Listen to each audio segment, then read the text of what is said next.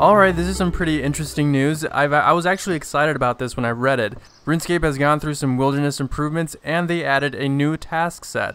I was really curious how they're going to play this off because not many people like going to the wilderness. They're scared of dying. I know for one. I know for one I'm scared of dying in the wilderness, so I don't know if I'm going to be spending much time in there.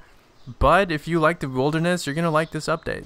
This wilderness task set is something that a lot of people have been waiting for. If you're an experienced player, you're going to get way more stuff and you're going to get more usage out of uh, completing the task sets. I'm sorry, newbies. I feel your pain. We cannot do many of the stuff, but it's fine. The good thing about this wilderness task set, and unlike any of the other easy tasks, you actually don't need anything for the for the easy set, which is perfect. Obviously, once you're done with the easy task set, the higher ones are going to be increasingly higher, but I mean the wilderness is a dangerous place. They're supposed to be hard, so it makes sense. Alright, so check this out. Once you're done with the easy task set, you actually get something called the Wilderness Sword, and this sword actually does a lot of cool things. One of those cool things actually gives you 5% more XP at the Wilderness Agility course, which is perfect. You're getting a little bit more XP at the risk of being PK'd, which is makes perfect sense actually. But you do have to have the sword equipped, so I don't. If you die, I don't think you lose it. I don't usually go to the wilderness, so I don't know if you get to keep one item or not.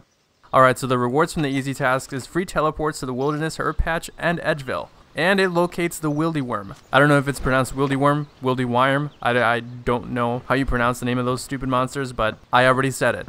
The rewards for the medium task gives you 5% XP at the Wilderness Agility course. With the sword being equipped, I just mentioned that. It gives you improved pocket rates at rogues, and teleports to the Forinthry dungeon, which will actually make things a lot easier for you people who can actually get there.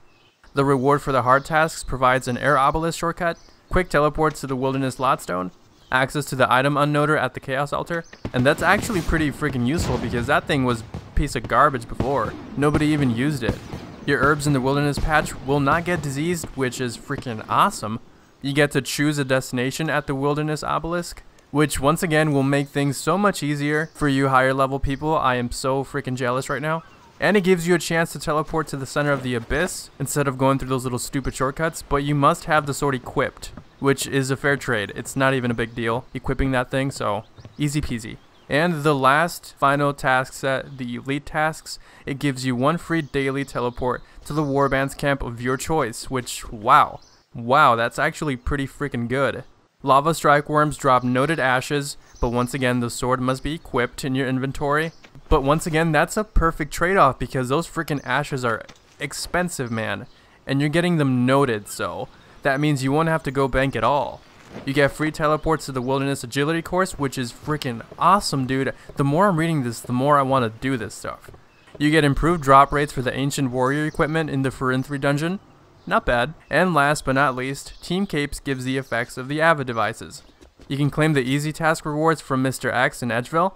You can claim the medium tasks from Mandrith in Edgeville Bank, the hard tasks from Kirkus in the Wilderness Wall between Edgeville and the Grand Exchange, and the elite tasks from Kolodion in the Mage Arena. If I mispronounce one of those names, I'm very sorry. I don't know. But that is everything for the wilderness tasks. There's so many more wilderness improvements, and the list is so long that this video would actually be a little bit too long, so I'll put the link to the news article down in the description but I'll show you a little part of the list just so that you can see some of the new features. And yeah, I think that's going to be the end of the video. I think they did a pretty good job with this wilderness improvements and the, the task set. There's so much stuff that you can gain from this. Obviously, the higher level players are going to get way more out of this than the lower players, but that's why you got to grind your ass off. That's why you got to work hard to get up there, to be able to enjoy all this good stuff. So yeah, that's going to be the end of the video. If you enjoyed it, go ahead and drop a like. Don't forget to subscribe. Thank you so much for watching, and I'll see you guys next time. Peace.